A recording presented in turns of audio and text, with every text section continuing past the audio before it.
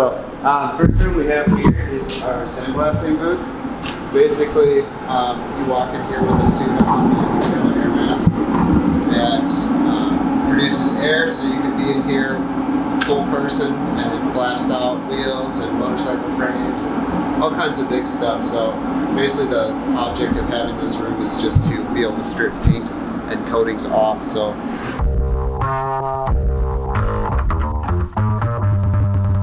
Next room over here is where we do powder coating. So basically, you have your rack, you have fans, you have a small sandblaster here for smaller, smaller batch parts, um, stuff like this. You know, smaller motorcycle parts and car parts. It's a curing oven, and basically how how the powder coating works is you have a metal rack that's grounded to the floor, and then the powder coat units actually, they have power units up here. And they're basically, everything's grounded, and then that's positively charged. So basically, when you spray powder at it, it'll go to a ground source. So, I can actually show you really quick. Yeah. Let's do a color, because it, it actually doesn't really matter. You can blow it off. We'll do like a sparkly red. I just gotta turn my air compressor on.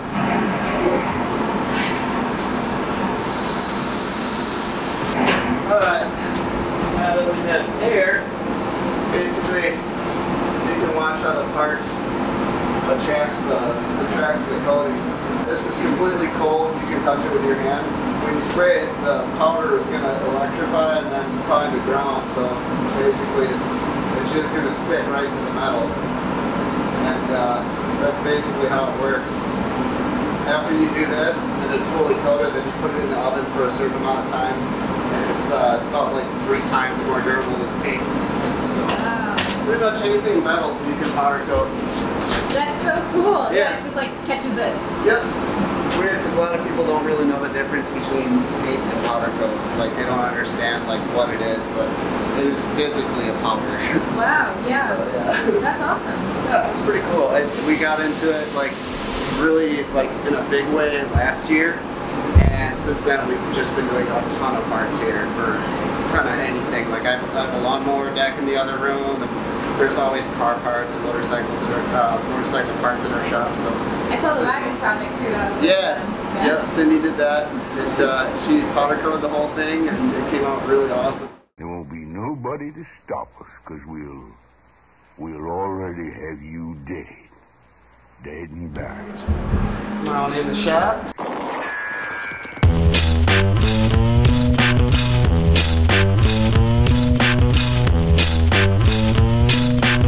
So this is our shop. We uh, we've owned it for about three years now. Um, my wife and I, and we started it out of our uh, single car garage in our apartment in Franklin, Wisconsin.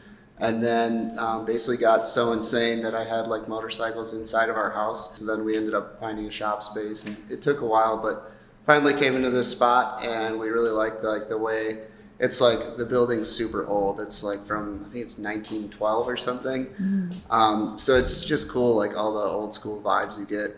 And I'm pretty sure it's haunted, so it's like you hear all these weird noises at night. And, like I've had some some times where like I've, there was like shadows, and, like just crazy stuff, and I'm like, man, I love this building. It's got soul. Hopefully the souls are good. yeah, I, I think they are.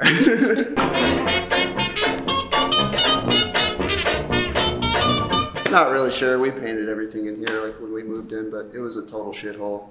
Like when we got here, like there was there was one light that worked, and there was two outlets, and they were up on the ceilings. I was like, you had to do all the wiring and everything. Yeah, yeah. Wow. So um, basically, my dad and I did all the wiring, did all the lighting in the shop. Had friends um, come and do the lighting in the office. Since we started, it's always been like my family helping us out. Like our friends, like really believe in the shop and like they really think it's cool, and it just like connects everyone. I've I met some of my best friends just through having a business. It's pretty easy to make friends over motorcycles, honestly. Like Yeah. what an easier way. Mhm. I always tell people like if you're lonely, like you want, like you want to hang out and meet, meet people, like just buy a motorcycle. And like if you get a bike and you're really serious about it, like it will for sure change your life. Mm-hmm. And that's what it's done for me too, because I couldn't even imagine like if I didn't buy a motorcycle six years ago or whatever, it I don't know. yeah, it's been it's been a work in progress. Pretty much like buy all used stuff if we can. Most of my stuff I was able to like save up and buy it on Marketplace or Craigslist, and it saved me a whole lot of money. And it like the machines still work great, so Yeah. they got years left in them. That's awesome. Basically, right now um, we work on like the shop has changed like so many different times. Like at first I started, I was doing pretty much anything like service work, repair, welding, fabrication, custom stuff. And then it got to a point where I was so busy doing that, basically just wanted to like only do customizing. I got into doing uh, spoked wheels because there's not many other shops around here that can do that. And then basically welding and fabrication have always loved doing it and custom motorcycles. So like this one behind me, um, I built for my friend Dean. Pretty much started from like this old motorcycle. It was like a brown bike and it like, I don't know, it just looked kind of dorky. He'd let me kind of go nuts with it and just make a cool bike. And it took uh, like a couple of years to actually build it. I think we were both really happy with the outcome. I think it's a pretty sweet looking bike. It's basically, it has like all the fancy knickknacks. It's got like LED lighting on it. It has LED bar end signals. Tail lights embedded into the seat. Like I, I can plug it in really quick.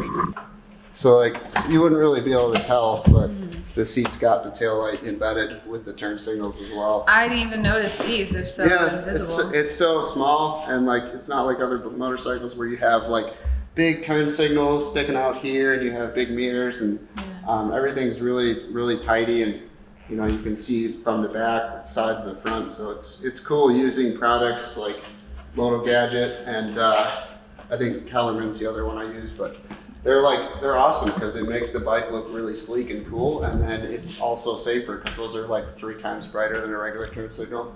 Uh, the next one I have going on right now is a BMW R100. I got it when I was back in my garage. Um, my friend Nate's bike, but uh, basically I was working on both of these at the same time. I got into doing this back end and I didn't know what to do because I wanted to make it basically like a single-sided swing arm so that the wheel only bolts on from one side and then it's totally open here so there won't be any swing arm on this side. I pretty much got like, wow, like this is crazy. I, I don't know how I'm actually going to accomplish this. Um, with help help from other friends, Godfrey's Garage, I'm going to be building my own like mono shock single-sided swing arm for this. It's really cool to like really like go way out of my comfort zone and like try doing things that I've never done before because I don't know, I feel like if you're not doing that, like it's not really you're not really enjoying it.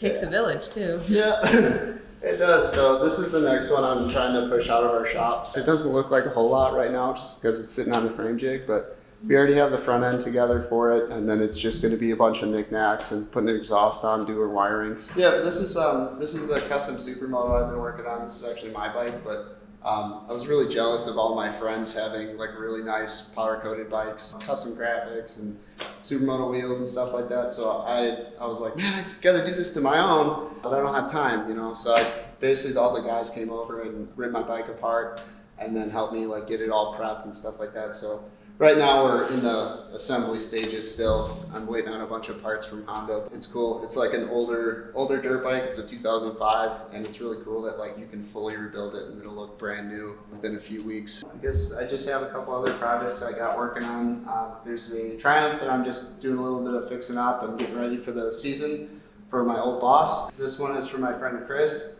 He pretty much didn't, he couldn't ride it for a while because he had like a baby and life got really busy. So I think this will be like what he needs this year, especially after all this crazy stuff going on. So.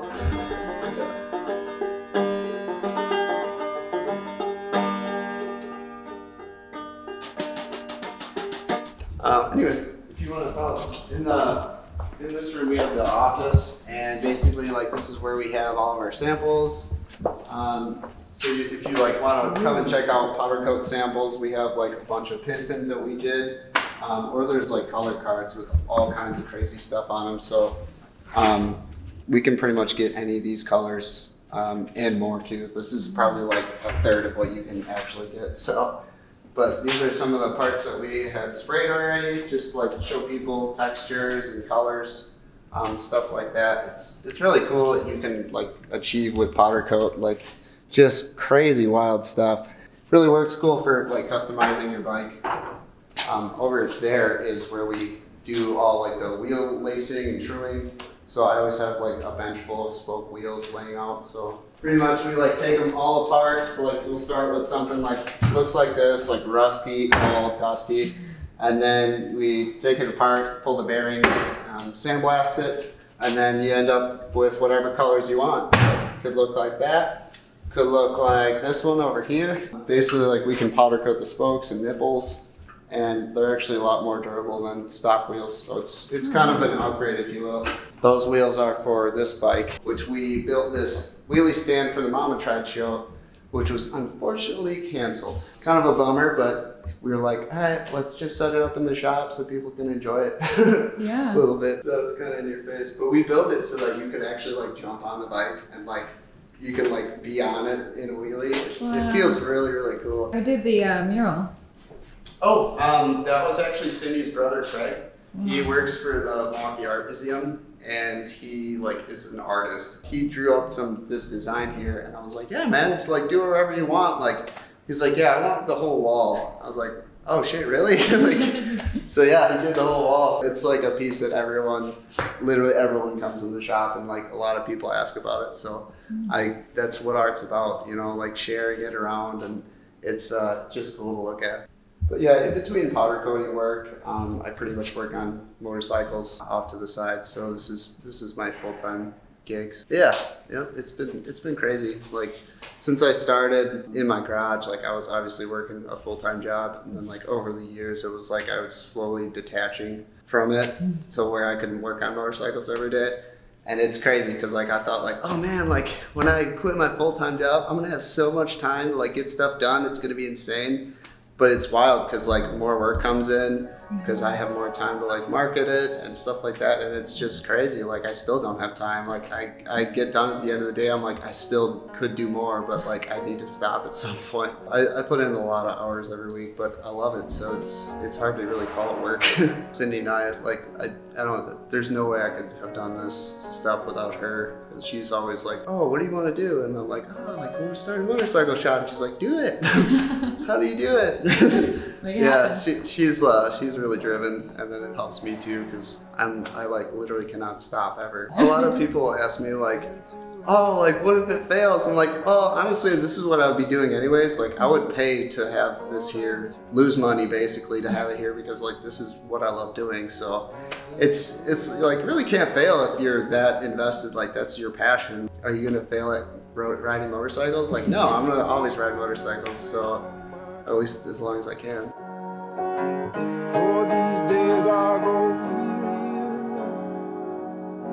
For